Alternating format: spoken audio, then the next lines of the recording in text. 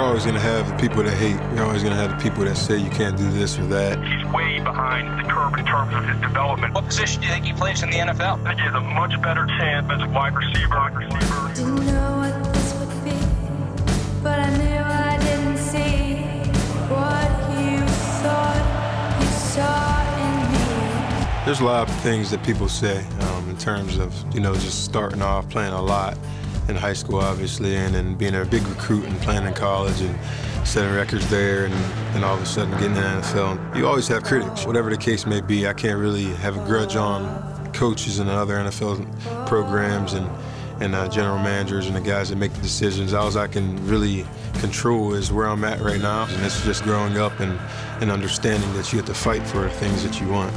Welcome to the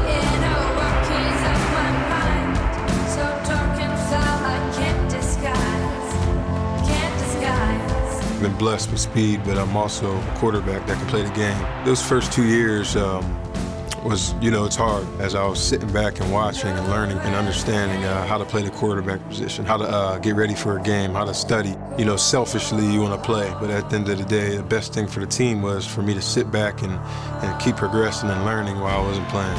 Pryor's in trouble, being chased. He's going to be hit. Am I learning? Yeah, I'm, I'm learning an awful lot and making mistakes on the way, but just pretty much put my head down and grinding. And as long as uh, just keep progressing and getting better and better uh, every week, uh, that's all I'm looking for. They're not going to catch Pryor. 93 yards. I believe we could play with anybody in the NFL as long as we keep that attitude and believe in one another, which we do. I don't blame people for saying, you know, hey, the Raiders aren't this and that. There's a right to doubt us. You know, we haven't done much in the past 10 years. That's up to us to change the way we're getting viewed. We're going to turn it around and, and uh, get the job done.